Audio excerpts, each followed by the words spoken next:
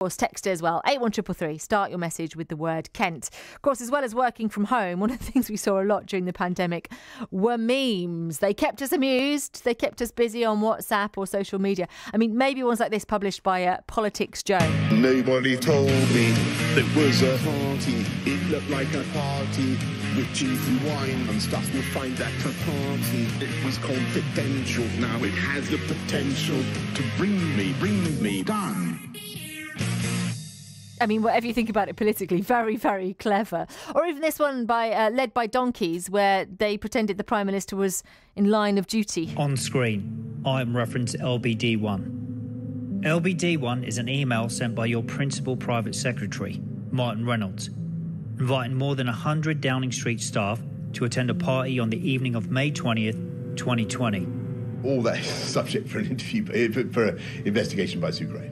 We've investigated it and the facts are plain for everyone to see. Again, very, very clever. But what impact does it have when an MP becomes a meme? Does it do them any harm? Let's discuss.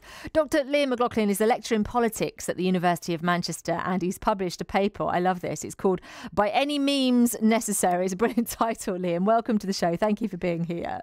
Um, there, Anna. And my first thought, I suppose, is is this really anything new? Because there's been satirical cartoons since, what, 17 something? You know, people oh, yeah. have always derided politicians and you know done little cartoons on pieces of paper. I guess this is just a, a technological way of doing it. It's more than that in some ways. It's uh-huh. um, you know old cartoons. It was traditionally you know your newspapers. They'd present something and you'd, you'd laugh at it.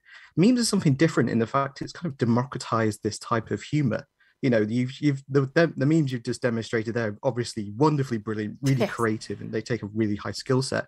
But most memes are just simply someone opening up an image putting some text in it sharing mm. it and sharing above. So it is different in that diff- in that kind of slight way. It's it's not just this top down level of humor it's very much grassroots bottom up which makes it so distinct and interesting. Yeah yeah. So does that mean it has a different impact then certainly and it's also it tells you something different when someone shares it you know memes are they're very authentic aren't they they're yeah. not just something that someone's created you know you know this is something you know memes are most effective um when people believe in them you know mm. people share them because they think they're accurate in some way yes. they agree with our kind of pre-existing consciousness in some ways and that, and that that's what makes them special and more effective as well they resonate. And I suppose the fir- uh, we're all the same, aren't we? The first thing you do when you see something brilliant and funny that makes you laugh is you're right, right, how can I share it, right? We just want to yeah, share. Definitely.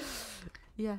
And what about the, the, politicians then? Can they laugh this kind of stuff off? Or oh, actually. Oh, certainly. Yeah. I mean, you can look at Boris Johnson. Mm. He is mm. no stranger to memes. You know, mm. everyone at some point, most of your listeners, I'm sure, have seen the memes of Boris Johnson stuck on a zip line um, or yep. you know, rugby tackling a teenager or a child. Mm-hmm. Um, and he's come off these quite well. And even during kind of the, we can look back at 2017. This is when we really started seeing political memes come about. Yeah. You know, political memes were really important for Jeremy Corbyn in sharing his message, and likewise, they were disastrous for Theresa May because they, you know, they locked into what people thought of each respective leader. And again, they were used um, in the 2019 campaign, but kind of more tactically you know, you had Boris Johnson creating lo-fi beats on YouTube, for example, as a bit of a meme. Yeah. Um, you know, they and he was also I'm not sure if anyone really clicked clocked onto this, but he was, you know, doing things that were very memeable. You know, when he made that cup of tea in the uh, 2019 walking through Conservative HQ, mm. he put the milk in first. You know, that was a deliberate tactic because people thought, well, ah. what's that, that's a memeable content. Uh, you know, they were that? doing things to make things into memes. Um, and they're very useful.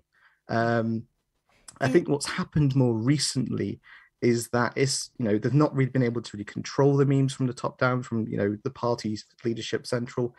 Um, and what's kind of really spiraled out of control for them is the fact that people have authentically you know not decided that boris johnson's this bit of a buffoon which is kind of what the old memes used to really resonate on um, but really that he was a liar. And that's what more of the more recent memes have really started to clock into and the really worrying thing, I would say, for Boris Johnson yeah. isn't necessarily that, you know, these memes are being shared about. It's just that what they say. Why are people sharing them? It's because they're believing in them. You know, they're believing that, you know, when a meme is being shared that says he's a liar, it's because they think he is a liar.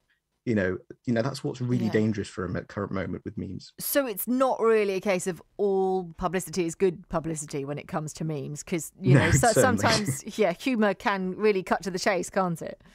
Definitely. I mean, it's just you know, it's the same as what you said before with like satire. You know, satire's hundred years old, but you know, when satire was saying something really bad about you, which was resonating with the public, that you should be worried, you know, because that's what the public are thinking.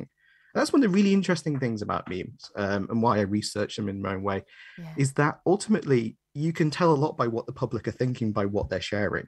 Um, Yes. and when we look at some of the memes that have been shared about Boris Johnson now, you know, if I was Boris Johnson, I would be worried, um, you know, because this is what people are thinking, especially kind of younger generations. Fascinating stuff. Well, listen, Dr. Lim, great to talk to you this morning. Please keep in Thank you touch. very much. Uh, we'll talk to you again soon. It's not quiet on the political front, so you know, there's lots to talk about. That is then Dr. Liam McLoughlin, lecturer in politics at the University of Manchester. And as you've heard, he published a paper titled By Any Memes Necessary. Very zeitgeist, very where we are at the moment. Now, on the way, Erica will be here with the great